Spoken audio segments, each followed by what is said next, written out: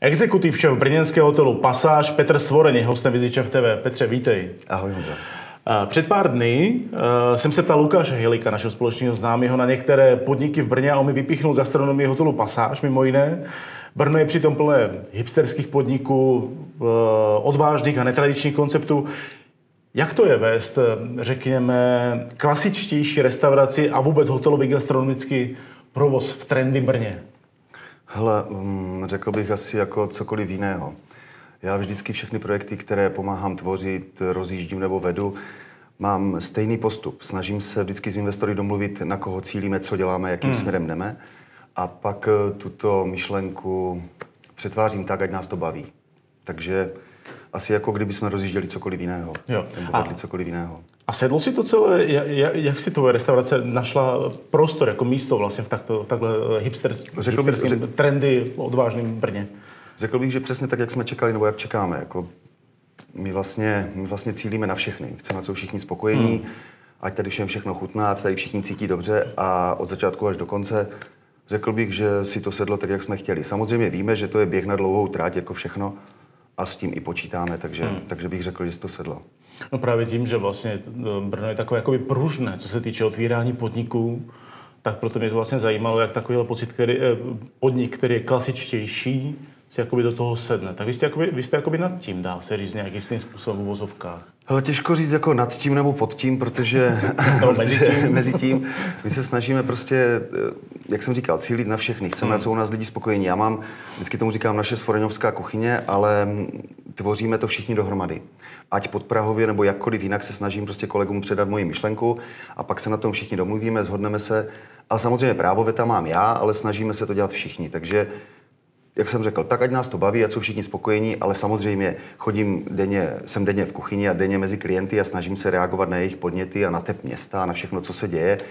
Takže, takže reagujeme. Často říkám kolegům v, v podnicích, které mentorují, že třeba někdy až přehnané ego kuchařů je zbytečné. Jako já už to dělám takhle, jinak to dělat nebudu. Samozřejmě chápu, ale děláme to pro lidi takže musíme s nimi nějak prostě jako navázat nějakou hmm. symbiozu a takhle my to děláme. A je tvoje praxe teda taková, že opravdu chodíš za hosty a ptáš se, jestli bylo všechno v pořádku? Ano, ano.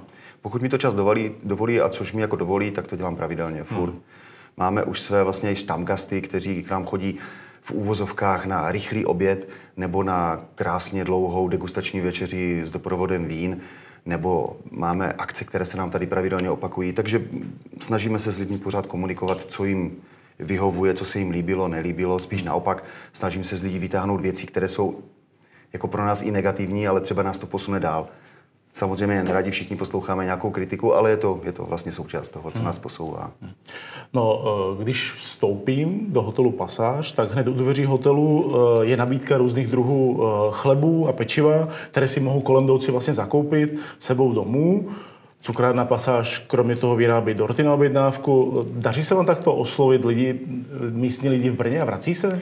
Nám se často stávalo, že lidé si chtěli koupit naše pečivo nebo naše, naše produkty, tak jsme si udělali takový jakoby, nechci říct provizorní, ale provizorní hmm. krámek.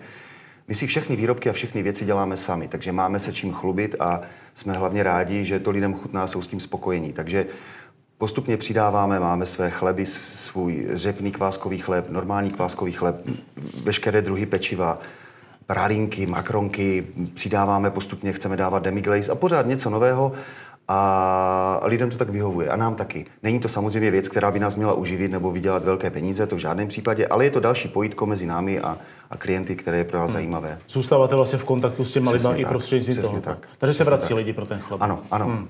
Jak moc je pro vás uh, důležitá brněnská klientela? Protože to jsou dvě různé věci, že? Jako vlastně lidi, kteří tady bydlí a vy, vy, vy vlastně ano, jim ano. vaříte, anebo pak jsou lidi teda... Hele, jsme v centru Brna, jsme v Brně, tak musím říct, nebo chci říct, že hodně. Pro nás je brněnská klientela opravdu hodně důležitá. Hmm.